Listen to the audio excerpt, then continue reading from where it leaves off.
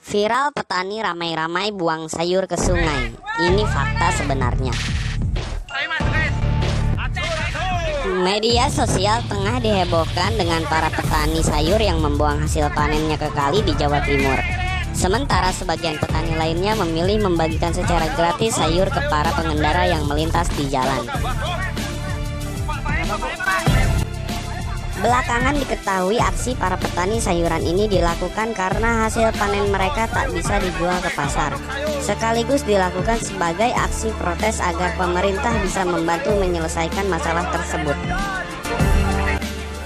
Dirjen Hortikultura Kementerian Pertanian Prihasto Setianto mengungkapkan aksi para petani itu dilakukan lantaran pasar-pasar yang menampung sayuran ditutup karena pembatasan aktivitas guna memutus mata rantai virus corona.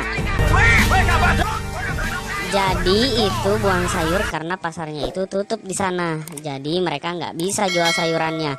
Terpaksa mereka buang sayurannya.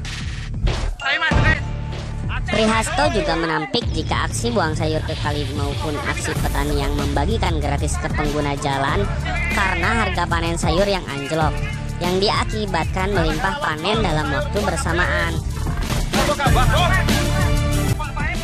Itu sudah diselesaikan, kita sudah selesaikan itu. Jadi sekali lagi, itu karena pasarnya yang kena. Pasarnya tutup karena lockdown, jar dia. Badok, badok, badok sayur. Ayo, lockdown.